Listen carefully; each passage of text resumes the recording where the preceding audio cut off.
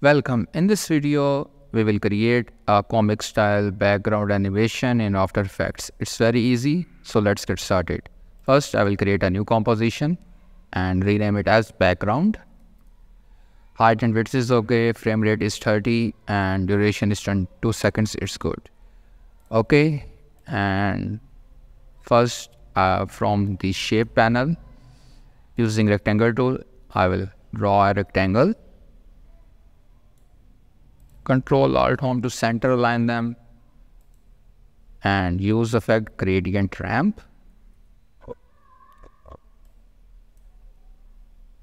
Use radial ramp and change it into black and above one into white.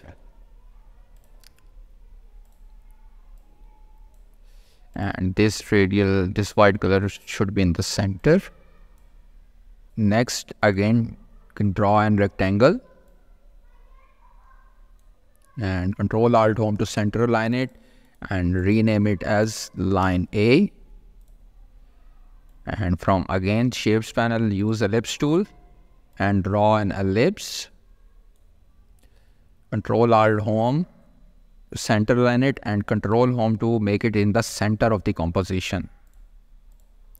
Let me show you what it will do and from track matte change into alpha inverted and change the shape layer to name to mask use effect fast box blur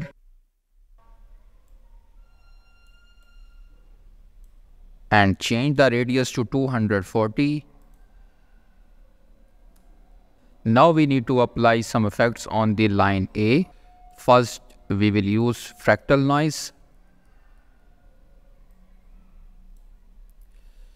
And change the contrast to 2500 and the brightness to minus 480. In the transform panel, and in the scale. First uncheck this uniform scaling and change the width to 63 and height to 10,000.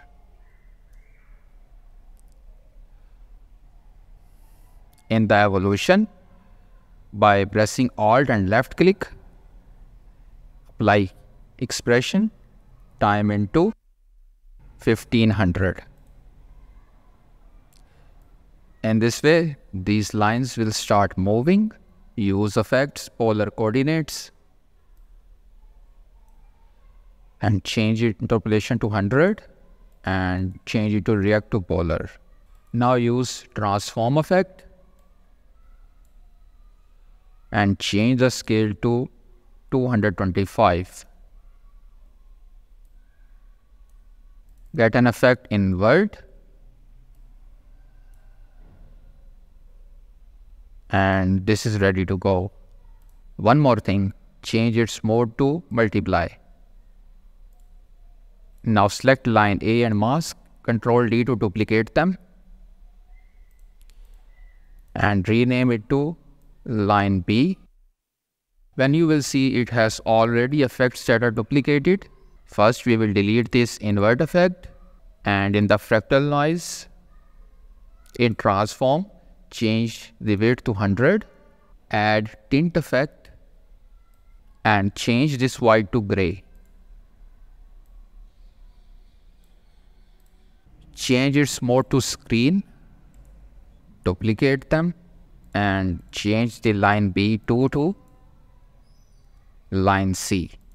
Delete this tint effect and in fractal noise in transform change the scale width to 90 we will use glow effect to glow the lines and change the radius to 90.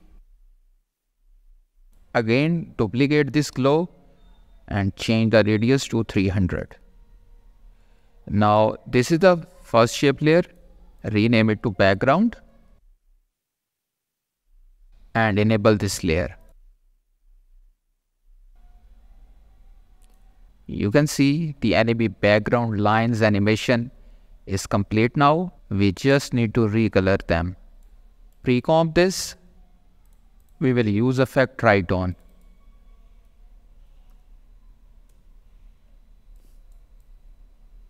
And change these colors to get the results that you want.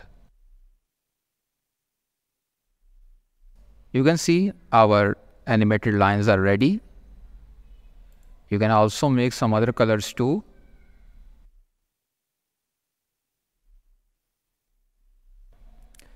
In this way, you can make color variations and you can use your comic characters above it and other text animations on this anime background. I hope that this tutorial has helped you. If you like the video, please do subscribe and share with others. Till then, I will see you in next video.